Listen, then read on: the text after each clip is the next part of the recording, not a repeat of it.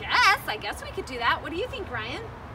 Yeah, we could graph a sine wave, but he's got to start it. Definitely, he has to start.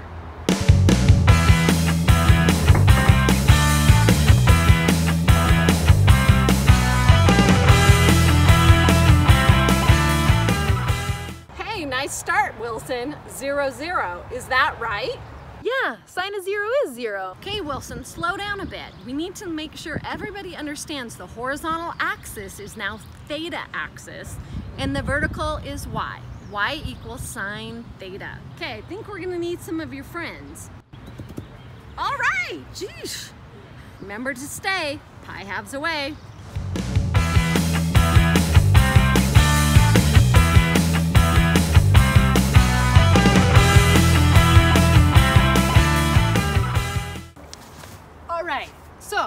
I want to graph sine of theta. Well, sine of zero is zero. So then sine of pi over four, hmm, I wish I had something for my pi over fours. Oh, that works. Okay, so sine of pi over four is root two over two, which is about 0.707. So we could put that right about there, okay? And then sine of pi over two is one. Sine of 3 pi over 4 okay, is 0.7. Sine of pi is 0. Sine of 5 pi over 4 is negative root 2 over 2, which is about negative 0.7. Okay, sine of 3 pi over 2 is negative 1. Sine of, oh no. Sine of 7 pi over 4 is negative root 2 over 2. And then 2 pi, 0. All right, so we have this nice pretty sine wave and we have these five pattern, like really prominent pattern points. We start at zero, then we go high, back to zero, then we go low, back to zero.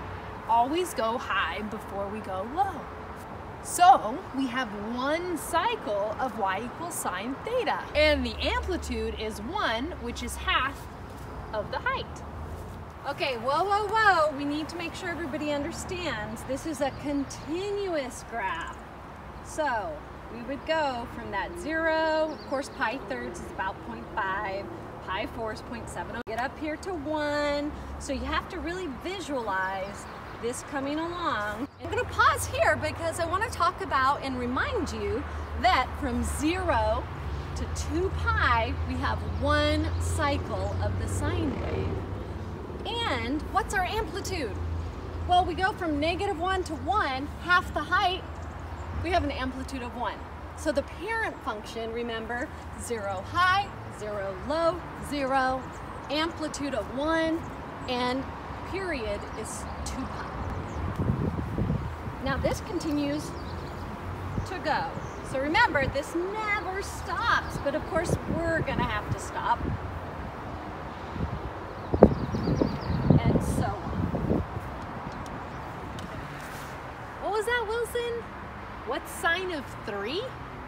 Hmm, well, so sine of three. Okay, well if this is pi, which is about 3.14, then three would be just before. So this is like pi radiuses, so three radiuses would be right about here-ish.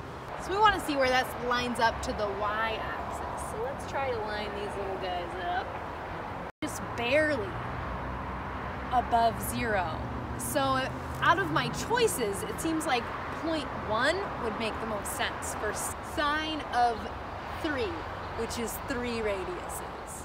Oh, you're trying to challenge me, Wilson? Two cycles between 0 and 2 pi. Let's see what would happen. We'd still have our pattern point, so I'd start at 0, but then I have to swoosh in a little bit. I'd go high, then I would go back to 0. Then I'd go low. Then I'd go back to, oh, nice, 0. Okay, I think I'm doing good. 0, go high, 0. Wow, these are just placed perfectly. And then go low.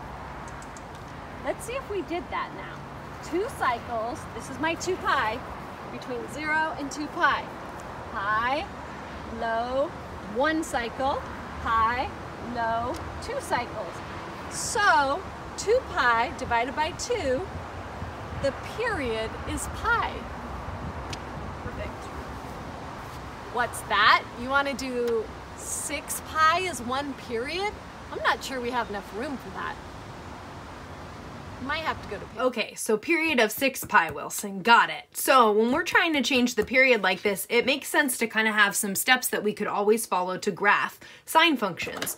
So the first step to graphing when you know your period is to go ahead and plot your period on your theta axis. So plot period, and we're gonna put the period at the end of the theta axis, or you could leave some room so that you can draw more cycles if you want.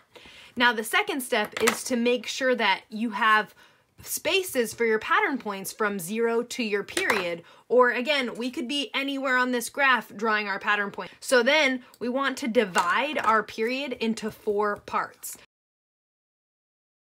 So half of my period would be in the middle, and then half of my halves would give me four parts. So half of 6 pi is 3 pi, half of 3 pi is 1.5 pi, or we could say 3 pi over 2.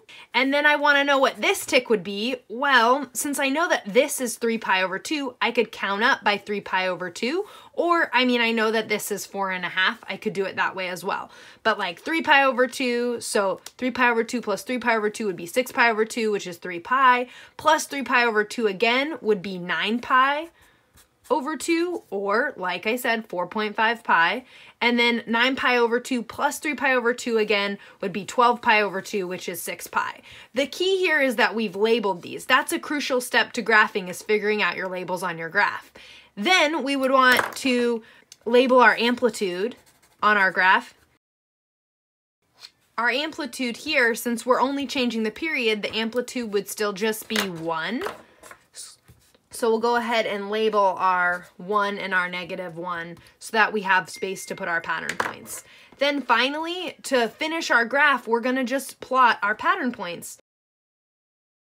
So we would go, okay, sine starts at 0, then we go high, so up to that 1, then we go back to 0, then we go low, then we go back to 0 to finish sine. So we went zero high, zero low, zero. Now, of course, it keeps going, but we were just trying to show that that period changed to 6 pi.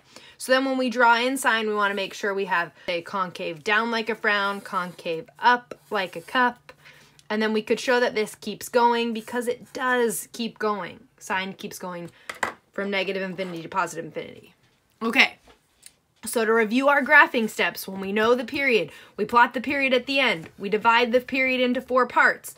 Then we label those four parts, label our amplitude on the y-axis, and finally plot our sine pattern points, zero high, zero low, zero. And we have one cycle of sine. Okay, and then for number of cycles between zero and two pi, well, we could take our normal period 2 pi and divide that by our new period 6 pi and we're going to get pi's divide out 1 third. So that means between 0 and 2 pi we're only seeing a, a third of a cycle.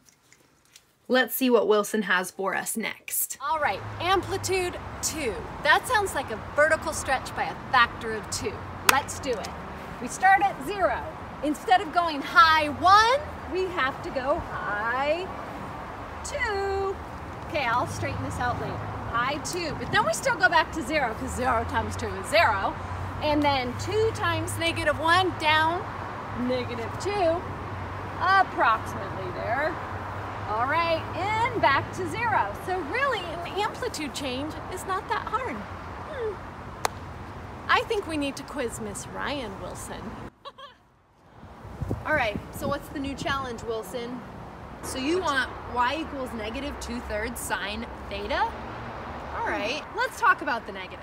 If I multiply a function by a negative, I am reflecting that function over the horizontal axis, or in this case, the theta axis. Either way. Instead of going zero high, I would go zero low because I'm reflecting. So it's gonna look like that. Still comes back to zero because if I multiply a zero by a negative, it's still zero. And then then low would move up to high here and then back down to zero. So it's gonna look like this yellow transformed graph. So now if I have an amplitude of two thirds, that would just be a vertical compression by a factor of two thirds. So that's gonna move this low point to negative two thirds, maybe here. And then that would just move this high point like there.